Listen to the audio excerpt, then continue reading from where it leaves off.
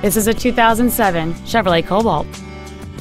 It has a 2.2 liter four cylinder engine and a manual transmission.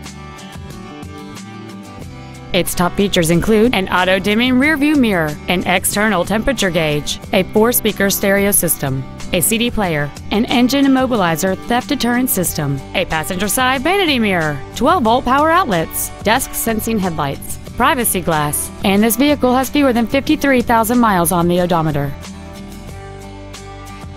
With an EPA estimated rating of 34 miles per gallon on the highway, this vehicle is clearly a fuel efficient choice. This vehicle won't last long at this price. Call and arrange a test drive now.